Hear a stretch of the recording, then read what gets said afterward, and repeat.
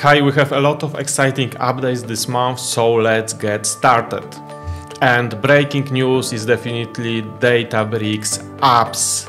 And the highlight of this month is Databricks apps because they are really amazing. And when you go to your compute in more in many of regions, you will find option apps and you can create here apps using for example, one of the most popular Python frameworks like Dash, Flask, or Streamlit. Or you can even deploy your own custom application using or your own Python code. And then business users, instead of going to your workspace, can, for example, consume and use that application. And what we can achieve with that, it's anything uh, which you can imagine because we can pass to that application resources from your workspace. So for example, we can pass job and this application will know job ID or we can pass secrets, serving table and SQL warehouse. And then in that business application, it can use that resources to perform action in your lakehouse, in your data intelligence platform. So for example, I've designed this app for business users, which is triggering the job. So instead of going now to workflows and looking for the job, they have URL and they can come here and they can select options, parameters, and then just click run job and the job is running. So you can do really amazing things using Databricks apps. And we will deep dive to Databricks apps in another uh, my video. Uh, another uh, update, which is really important, is the new runtime. Now we have runtime 16, which is in beta. And this runtime brings a lot of improvements. My favorite ones are related to liquid clustering because you can finally use liquid clustering with stream. So you can write your stream to liquid partitions. And also, it's possible now to do full optimize to re recalculate all clustering. It can be beneficial in many use cases because liquid clustering using uh, AI model, which is uh, reading read and write operations, so that uh, optimization is much more bigger than other optimization because it's trying to adjust your data and rewrite everything to match that read and write patterns. Uh, another update related to uh, runtime uh, 16 is machine learning runtime because that machine learning runtime can use now uh, in feature client views as a feature table. So I think it will uh, make life of many data scientists much more easier because uh, not uh, always you want to recalculate your whole data and use table as a feature tables, but now you can use views. Uh, another update is related to SQL editor. Now you have a new SQL editor which you can uh, turn on here. And nice feature is uh, collaboration uh, because you can work with your colleague in real time on SQL, SQL queries. Here are a lot of different small improvements. So for example, if we select something, we have now options to add comment or uh, trigger assistant and assistant will work with us on that selection. So for example, we can write for that selection for example, make it lowercase because maybe we don't remember SQL function. And it will generate the code for us. Yes, so it's correct. There are a lot of improvements in auto completion, and for example, it's displaying here as name. Uh, it's using uh, LLM AI model for that, so we can click tab and accept that auto completion.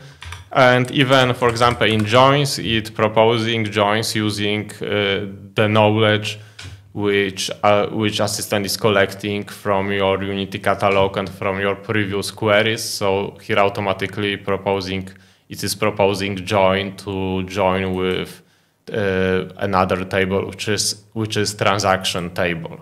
Now it's possible in general availability to use vector search function inside SQL. So we, when we have uh, vector search index and endpoint, we can run the query. And for example, here we are uh, looking for product name latte, but in multidimensional space, in it found for us products related to this, for example, milk. Another updates are related to dashboards. It's really nice that every week we are getting new updates uh, related to dashboards and new version of dashboards. So uh, development process uh, uh is is really accelerating. And for example, now we have box chart, uh, which you can see here. It's a new type of chart which was added. So here you can see the minimum, maximum value, uh, uh, quartiles, and for example, median.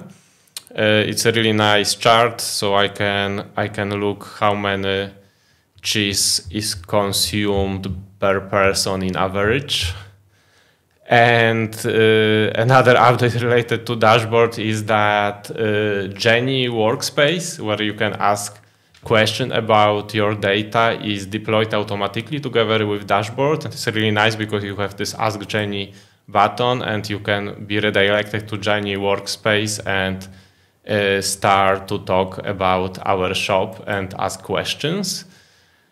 And also there is new feature which is also really nice uh, because now we can we can go to share and we can embed dashboard. So we have that iframe code, which is allowing us to embed dashboard outside of Databricks. But remember, remember that both for this functionality, also the same is for apps, the user still needs to authenticate against our workspace. So they need to uh, they need to log into Databricks anyway, but they can do it outside of Databricks. So on the page where we embed apps or embed dashboards. Another updates are related to uh, CLI and specifically Databricks asset bundles, which are my favorite way to deploy code to stage and to production. Uh, so, for example, here there was added option that also all-purpose clusters can be managed through DABs. So, in fact, you can use it to manage all-purpose clusters in your workspace, or maybe you want your jobs to run on all-purpose clusters in some cases, so you can you can uh, deploy that resources using DABs.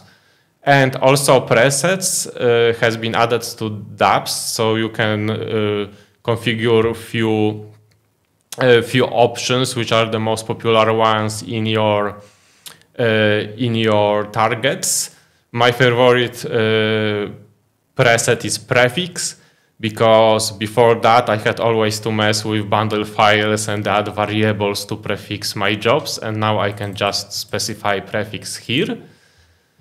And last update for that month is general availability of publishing your semantic model to Power BI workspace.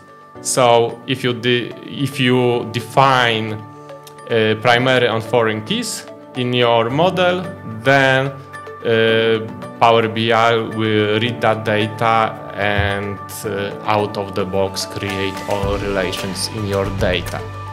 Uh, that's all updates for that month. Thank you very much for watching and see you next month.